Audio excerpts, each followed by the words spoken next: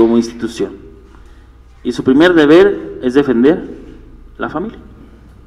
¿Verdad? No tiene mayor sino que nosotros decirle también a nuestro nuevo pastor que como pastores, como Grey, estamos interesados por este valor fundamental. ¿Sí?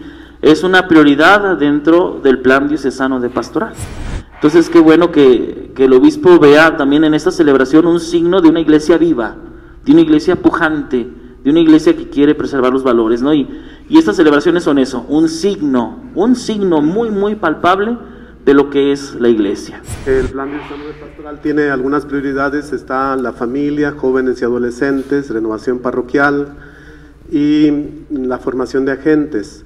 Obviamente no estamos queriendo decir nada contra nadie, ni mucho menos, simplemente es expresar lo que tenemos en Aguascalientes como estructura y también como una prioridad más allá del plan. Es decir, la familia, aunque no estuviera en un plan diocesano de pastoral como una prioridad, siempre será para los aguascalentenses y para la Iglesia Universal un valor fundamental y el tejido básico de la sociedad humana. De Aguascalientes que siempre ha estado por la familia, incluso que aparece en el plan diocesano de pastoral.